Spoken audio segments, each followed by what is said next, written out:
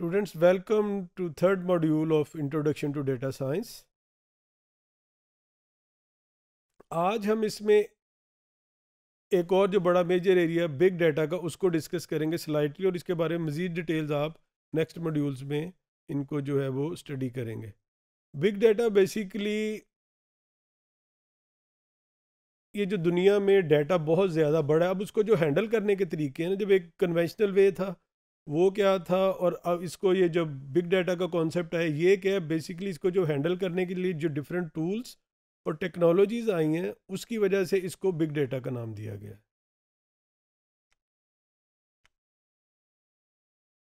Big data और जो normal data है आपका, उसको डिफ्रेंशिएट करने के लिए they call it five Vs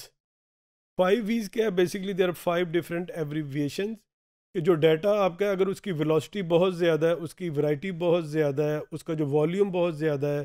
तो ये इस तरह का जो डाटा है, वो उसको बिग डाटा कहा जाता है। इसमें जो अगर आप अगेन हमारे पास जो सबसे ज़्यादा वैलिड एग्जांपल है, वो सोशल मीडिया के जिसमें अगर मिलियंस ऑफ़ यूज़र एक वक्त पे डाटा एंटर कर रहे हैं तो it means that is the best example of big data इसके अलावा हमारे पास टेलीकॉम इंडस्ट्री है इंटरनेट की कोई इंटरनेट बैंकिंग लगा लें और इस तरह की जो ई कॉमर्स की साइट्स हैं इंटरनेट के ऊपर जो शॉपिंग होती है, वो सारी चीज़ें भी आपकी बिग डाटा ही कंसिडर होती हैं, क्योंकि उनकी जो स्पीड है, जो उनका वॉल्यूम है, क्योंकि मिलियंस ऑफ़ ट्रांजेक्शन जो हैं, वो आपकी एक वक्त पे हो रही होती हैं। इसलिए इसको बिग डाटा कहा जाता है। इसकी जो बेसिकली और इंपॉर्टेंट चीज़ है, वो है इसकी value it is very very valuable for the overall industry and the world around you अच्छा एक और जो इसके अंदर इंपॉर्टेंट चीज़ है, वो ये है कि जो इसकी टूल्स एंड टेक्नोलॉजीज़ हैं, वो हर तरह का डाटा को प्रोसेस करने की कैपेबिलिटी रखती हैं। नॉर्मली आपके पास जो डाटा होता था पुराने मतलब ये कि कुछ साल पहले तक अगर हम देखें, या जो नॉर्मल हमारे पास डेटाबेस में जो डाटा आता है, उसको कहते हैं स्ट्रक्चर डाटा तो बिग डाटा का जो है, इसके अंदर डाटा आपका स्ट्रक्चर्ड हो सेमी स्ट्रक्चर्ड हो, या अनस्ट्रक्चर्ड हो। तो तीनों फॉर्मेट्स को ये जो टूल्स हैं, ये उसको हैंडल करने की कैपेबिलिटी रखते हैं। तो इसीलिए बिग डाटा का आपका एक बहुत बड़ा जो डिफरेंस है या एडवांटेज भी आप कह सकते हैं कि बिग डाटा जो टेक्नोलॉजीज़ का एडवांटेज है, वो ये कि इसमें हर तरह का डाटा आप प्रोसेस कर सकते हैं। आप वॉइस प्रोसेस कर सकते हैं, आप इमेजेस प्रोसेस कर सकते हैं। और ऑब्वियसली जो आपका स्ट्रक्चर डाटा है, जो कि, फ़र्ज़ करें आप अगर किसी डाटा बेस से अभी नहीं फेमिलियर अगर आप एक्सेल शीट देखें, कोई टेबल देखें, जो कॉलम और रोज़ में डाटा होता है आपका बेसिकली वो ही वो आपका स्ट्रक्चर डाटा है कि मेरे पास इतने कॉलम है, हर कॉलम का नाम है, मेरे पास डिफरेंट रोज़ हैं। फ़र्ज़ करें एज है जेंडर है सेक्स है यू नो इस तरह की जो चीज़ें हैं, ये सारी बेसिकली आपका स्ट्रक्चर डाटा होता है। लेकिन कॉन्ट्रेरी टू दैट कुछ डाटा हमारे पास जैसे तस्वीरें हैं, उसको अगर मैंने प्रोसेस करना है तो वो unstructure data totally unstructure data इसी तरह कुछ और डाटा हमारे पास कुछ और भी डाटा के एग्जांपल हैं जिसमें सी एस वी फॉर्मेट है इंडस्ट्री स्पेसिफिक कुछ फॉर्मेट्स आते हैं। स्पेशली ये टेलीकॉम में बैंकिंग में वो फॉर्मेट यूज़ होते हैं, वो हमारे सेमी स्ट्रक्चर्ड में आ जाते हैं। तो big data can handle all these types of data in parallel और उसको ये ज़रूरी नहीं जी कि उसने एक वक्त में एक ही कर सकता है। हर तरह का डाटा ये जो सिस्टम है इन पैरेलल प्रोसेस कर सकते हैं।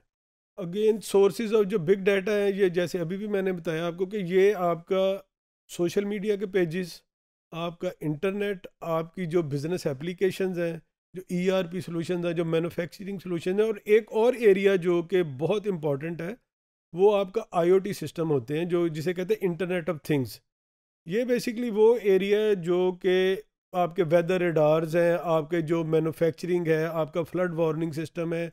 आपके और कई ऐसे सिस्टम हैं जो कि दुनिया में प्लेस है, और वो डिफरेंट सिग्नल जनरेट करते हैं और वो जो सिग्नल जनरेट होते हैं वो आपके पास आके डाटा की फॉर्म में, आपके डेटाबेस में आते हैं then you can analyse those data इसके अंदर बेशुमार काम हो रहा है इस वक्त दुनिया में और आईओटी जो है इस वक्त वन ऑफ़ दी लेटेस्ट जो आप कह सकते टेक्नोलॉजी और डेटा की मैनेजमेंट में जो area that is IoT internet of things या इंडस्ट्रियल इंटरनेट ऑफ़ थिंग्स भी इसका एक और वेरिएंट है। फिर इसके अंदर जो डिफरेंट टूल्स हैं, इसमें सबसे पहले जो एक, जो नाम था that was H D F S Hadoop file system था ये। वो आए, फिर उन्होंने डिफरेंट टूल्स बनाए, इसके अंदर काफका है स्पार्क है। They are many tools different companies ने क्या किया, अब क्योंकि अच्छा इसमें एक बिग डाटा के जो टूल्स हैं, इसमें सबसे अच्छी बात है कि सब ओपन सोर्स है। कोई प्रोपराइटरी चीज़ नहीं है, आप जाएँ, अगर आपके पास इतना नॉलेज है, आप गिट हब पे जाएँ, किसी और जगह से आप इनके जो टूल्स को डाउनलोड करके you can start using them तो ये एक और एडवांटेज है बिग डाटा टूल्स का कि दे आर ओपन सोर्स अब जब हम बिग डाटा की बात करते हैं, उसकी जो स्टोरेज है ना, उसको, उसके लिए देर इज़ अनदर नेम एक पूरा कॉन्सेप्ट है that is called data lake कि जो पूरा आपका ऊपर सिस्टम है, फ़र्ज़ करें आईओटी का है ई e कॉमर्स है सोशल मीडिया है ईआरपी है सीआरएम है, ये वो सारे सिस्टम हैं जो आपका डाटा प्रोड्यूस कर रहे हैं but somewhere this data has to be stored जैसे हमने शुरू में बात की कि वो जो डाटा है it can be structured it can be semi structured it can be unstructured तो इसका मतलब ये कि वो हर जो डाटा टाइप है, उसको स्टोर करने के लिए जो स्टोरेज है, आपको उसी तरह की चाहिए। ठीक है, जैसे अगर आपने कोई सॉलिड चीज़ स्टोर करनी है तो you need a different storage अगर आपने लिक्विड स्टोर करना है तो you need a different type of storage इसी तरह different type of data basis को या डाटा टाइप्स को डाटा फॉर्मेट्स को जब हम स्टोर करते हैं तो that is called a data lake data lake basically एक आपका स्टोरेज है जिसके अंदर ये फैसिलिटी होती है कि उसको,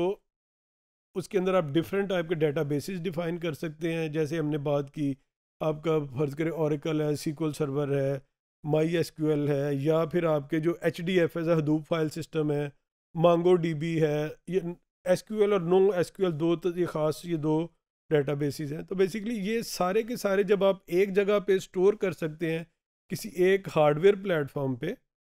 तो that is called data lake और इसमें ये पूरा जो डेटा बेस का प्रोसेस है, इसके अंदर ये जो, या जो हमारा डेटा साइंस का पूरा स्ट्रक्चर है, इसके जो अंडरलाइंग प्लेटफॉर्म है, जिसके अंदर उसकी कंप्यूट की कैपेसिटी के, हमारे पास कंप्यूट की कैपेसिटी कितनी होनी चाहिए रैम कितनी होनी चाहिए स्टोरेज कितनी होनी चाहिए तो ये जो सारी, जो पूरा का पूरा आपका इंफ्रास्ट्रक्चर बनता है, ये भी उतना ही इंपॉर्टेंट है जितना कि डाटा क्रिएट करना या डाटा को जनरेट करना या उसको एनालाइज करना। लेकिन उसको जो स्टोर करने का तरीक़ाकार है, उसको मैनेज करने का जो सिस्टम है that is again a huge expertise level उसके अंदर भी बेशुमार डाइवर्सिफाइड किस्म की जो है आपकी वो टेक्निक्स हैं टेक्नोलॉजीज़ हैं कोर्सेज हैं पूरे पूरे सब्जेक्ट एरियाज़ हैं, जो कि आप सिर्फ़ डाटा जो आप स्टोर करते हैं, उसको प्रोसेस करते हैं, उसको कंप्यूट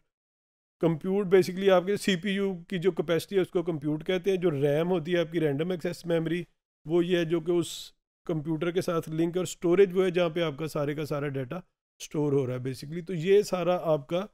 डाटा लेक और बिग डाटा का जो पूरा आर्किटेक्चर है, वो आपका ये है। तो with this we are on the end of this module और I see you in the next module